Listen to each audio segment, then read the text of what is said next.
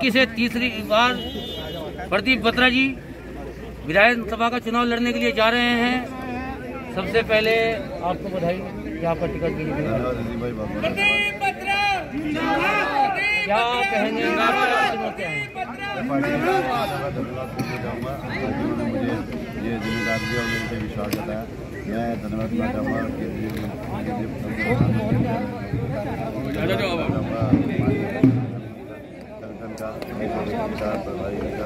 सभी संगठन और सभी कार्यकर्ताओं का उन्होंने यहाँ से आवाज़ दिलाई और मुझे भारतीय जी क्या कहेंगे? क्या तीसरी बार लड़ने हैट्रिक लगेगी मैडम क्या कहेंगे?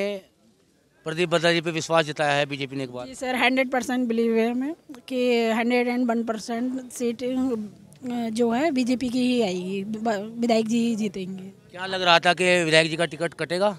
नहीं हमें तो बिल्कुल नहीं लग रहा था। हम तो शुरू से श्योर थे कि उनका ही टिकट होगा और जीत भी उन्हीं की होगी। विधायक जी को क्यों पसंद करते हैं लोग? विधायक जी को इसलिए पसंद करते हैं लोग कि उनके माथे पे कभी शिकन नहीं आती। हर समय मुस्कुराते रहते हैं।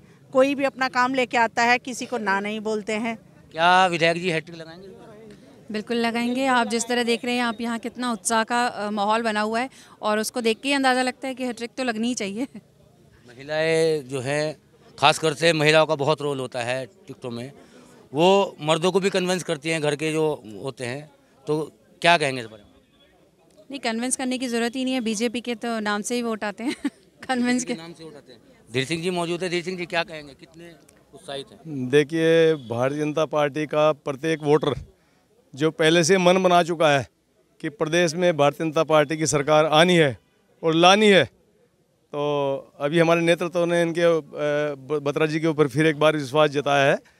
तो पार्टी का प्रत्येक कार्यकर्ता बहुत अच्छी बहुत मजबूती से चुनाव लड़ाएगा और इनको रिकॉर्ड वोटों से जिताकर विधानसभा में भेजेगा जो है। बत्रा जी इस बार हैट्रिक लगाएँगे? बत्रा जी दरअसल मैं आपको एक ज़मीन की बात बता दूँ। बत्रा जी ज़मीनी व्यक्ति हैं। क्योंकि वो हर समय लोगों के बीच में रहते हैं। तो ये तो जनता आपको अभी जब आप बाज़ार का सर्वे करेंगे आपको पता चल जाएगा। सच में हैट्रिक लगाएँगे।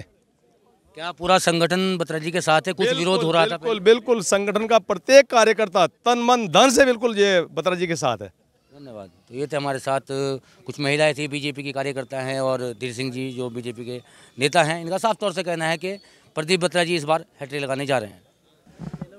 बीजेपी के कुछ कार्यकर्ता और मौजूद है। राम अग्रवाल जी कितना उत्साह है बहुत ज़्यादा उत्साह है। देखिए पूरे शहर की जनता वेट कर रही थी। ऑफिशियल अनाउंसमेंट की पता सबको था कि टिकट प्रदीप बत्रा जी को था सबको कि टिकट टिकट में संबंधित फंसा हुआ था? नहीं नहीं नहीं इतना इतना इतना जोश था शहर के लोगों में। सब कह रहे थे कि अरे टिकट तो बत्रा जी को ही लेकिन एक ऑफिशियल अनाउंसमेंट की वेट सबको थी। बहुत ज़्यादा जोश है पूरे हैट्रिक लगाएँगे इस बार? पक्का लगेगी। हैट्रिक के साथ साथ आपका क्या कहना है? सर विक्ट्री भी होगी हैट्रिक भी होगी? अपने सहयोगी विनोद चौधरी के साथ मैं मोहम्मद अजीम न्यूज़ इंडिया।